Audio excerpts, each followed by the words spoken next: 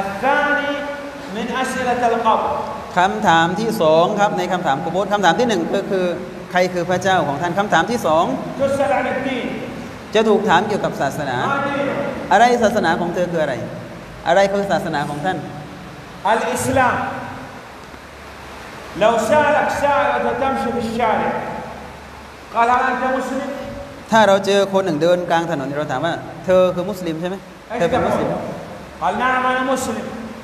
ก็จะตอบว่าใช่ ฉันมุสลิม قال ما هو الإسلام؟ เขาก็จะถามต่ออธิบายมาที่อิสลามคืออะไรบอกมาสิ تقول لا أدري เราบอกว่าเราไม่รู้อะไรเลยเกี่ยวกับอิสลาม الإسلام هو أن تسلم تفرد الله بأنواع التوحيد الثلاثة ความหมายของอิสลามก็คือการที่ท่านยอมจำนนโดยสิ้นเชิง โดยการให้เอกภาพต่ออัลลอฮ์ให้ความเป็นหนึ่งต่ออัลลอฮ์ในเตาฮีดทั้งสามประเภทที่ว่าเมื่อตะกี้ครับ يعني لا يمكن أن يأتي مسلم ويقول لماذا نصلي الفجر ركعتين والظهر أربع ركعات مسلم يقول سلمت آمنت صدقت نعم ดังนั้นมันเป็นไปไม่ได้ที่มุสลิมคนหนึ่ง จะตั้งคำถามว่าทำไมเราละหมาดซุบฮ์สองรอกาตละหมาดไอชะละหมาดซูรีอัสรีทำไมเราละหมาดสี่รอกาตครับ มุสลิมไม่ถามแต่เป็นการยอมจำนนยอมรับปฏิบัติ ยินยอมโดยดุษฎีกับคำสั่งของอัลลอฮ์ استسلام لله بالتوحيد نفرد الله بأنواع التوحيد الثلاثة คือการยอมจำนนต่ออัลลอฮ์ในเตาฮีดทั้งสามประเภท ولا بد من انقياد من عمل และจะต้องมีการปฏิบัติ ยืนยันในเตาฮีดด้วยการปฏิบัติ أذن لصلاة العشاء มีการอาซานอิชะ لماذا لا تصلي ทำไมไม่ละหมาด إذا مجرد يؤذن تصلي تعمل พอถึงเวลาอาซานครับ ได้ยินเสียงอาซานก็คือปฏิบัติเลยละหมาดได้เลย بعض الناس يقول أنا حر บางคนบอกว่าได้ยินเสียงอาซานเนี่ยฉันอิสระ أصنع اللي أريد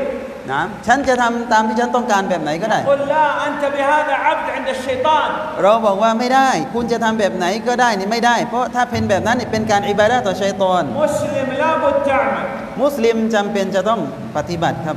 والمسلم لابد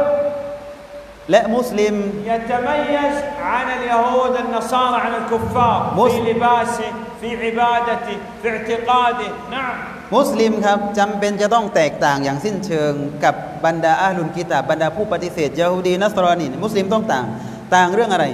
ต่างเรื่องการวางตัว ต่างเรื่องอิบาดะห์ต่างเรื่องของเครื่องแต่งกายอาหารการกินทุกอย่างเนี่ยต้องต่าง نعم الدين الإسلامي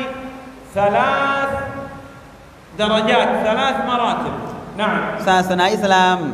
ถ้าแบ่งระดับขั้นนี่ สามขั้นสามระดับระดับที่หนึ่งครับเรียกว่าระดับอิสลามระดับที่สองสูงขึ้นมาอีกเขาเรียกว่าระดับอีมานระดับสามสูงขึ้นมาอีกครับเหนือขึ้นไปอีกเรียกว่าอิฮซานนนี่คืออิสลามอีมานอิฮซานนี่คือระดับของศาสนาอิสลามต่ำสุดนี่เรียกว่าอิสลาม